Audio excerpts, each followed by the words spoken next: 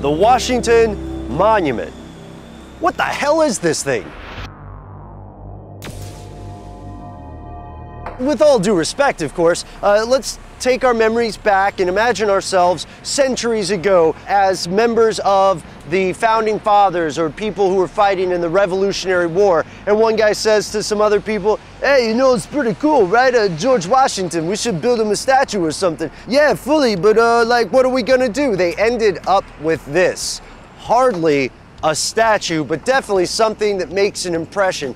Okay, we're kidding a little bit, but the point is this. The Washington Monument, whether you love it or hate it, is one of the most iconic and memorable structures here in Washington, D.C., if not in the entire nation. Here are four things you might not know about it. Number one, the idea for what this would eventually become actually started brewing before Washington was elected president. It goes back to 1783. That conversation we had at the top, oh, hey, Washington's pretty cool. Yeah, fully, let's build something about it. That did happen way back in 1783, and the thing wasn't finished until 1888. That's when it officially open to the public. And uh, spoiler, that's not what it was supposed to look like. You can see how construction came and went based on the different uh, colors of the stone used in the quarry. You'll see it's lighter at the bottom, uh, darker at the top, because their pause was so long in construction that they could not use stone from the same quarry. Boom. Number two, what was it supposed to look like?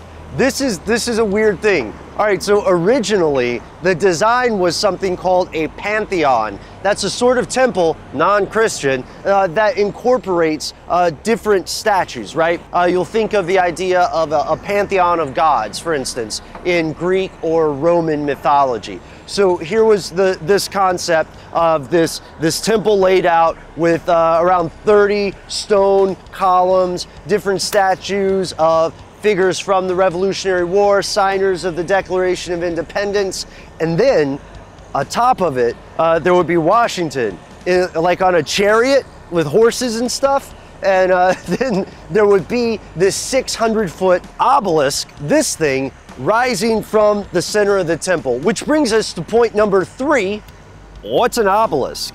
Why an obelisk? We don't have uh, an obelisk for Lincoln. We don't have a Martin Luther King obelisk. So, so what gives? Well, it is true that George Washington was a Freemason, and you see some of these sorts of symbols in other Masonic architecture, sure, but an obelisk is a very old design. It dates all the way back to builders in ancient Egypt who referred to it as a tekhenu.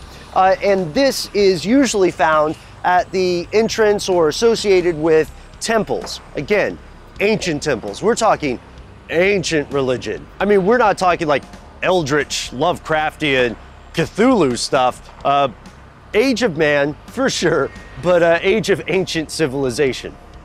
Boom. Number four. Okay, so if you are at the very top there, at the apex of the Washington Monument, let's say uh, you're parachuting down, having one of those national treasure moments, you and Nick Cage or whatever, and uh, you land on the monument and just grab the, grab the very top of it at the summit there, uh, you'll find an aluminum cap.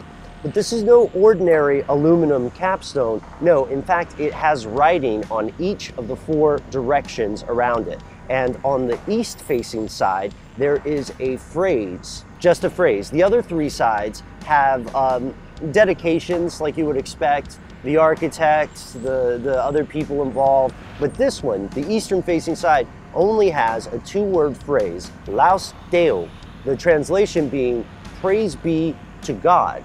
And for a lot of people, this is an interesting thing, especially, you know, considering it's an obelisk and uh, considering it's supposed to be part of a different kind of temple, at the very least an homage to an earlier religion uh, and even deifying in some ways the founding fathers. So as you walk up this structure, at the various landings, you will see dedications, prayers from other places, other states and stuff. Uh, this is actually a, a very religious building when you think about it. And that's one of the things that a lot of people don't know. Oh, the last last thing about it. When it was originally part of this temple, it was going to be 600 feet tall. When construction was completed, it was open to the public, 1888, it was 555 feet tall. And this doesn't even get into the original plans, the statue of George Washington uh, in a toga. True story. That was going to be the that was going to be the monument. That statue was made. It was unpopular with the public, but it's still around today.